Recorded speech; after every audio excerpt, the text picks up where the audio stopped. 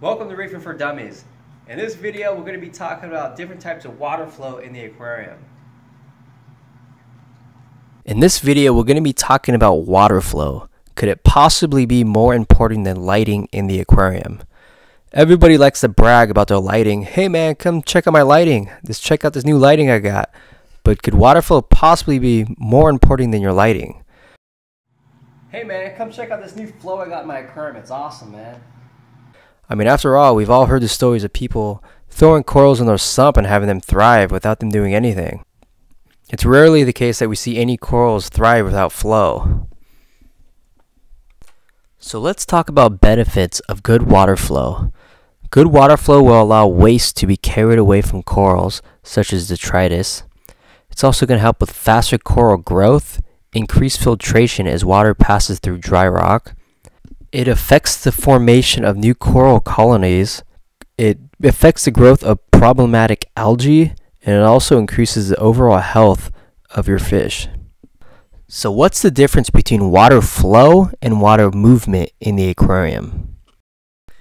Movement is the back and forth surge like movement in the water that is created when a wave passes over the coral reef.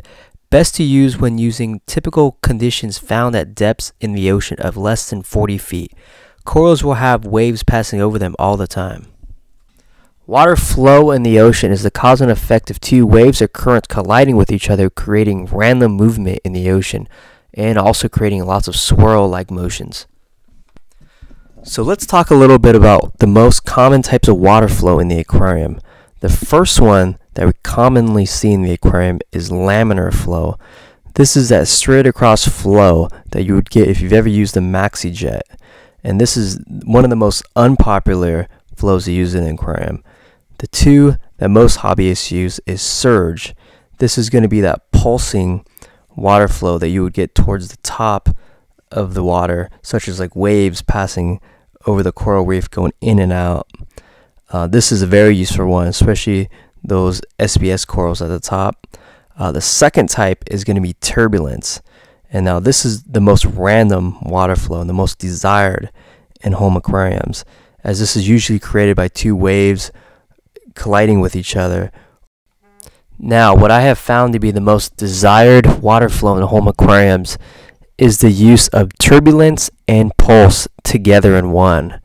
And now this can all be desired with a wave maker with four pumps seems to be the best setup for any home aquariums. I hope you guys enjoyed this video. If you guys like this video, go ahead and hit that subscribe button down below. If you have any other uh, ideas about any videos, go ahead and leave those in the comments down below, and I'll be sure to go ahead and take a look at those and see if I can make any videos from them. Um, anyways, until next time, keep on reefing.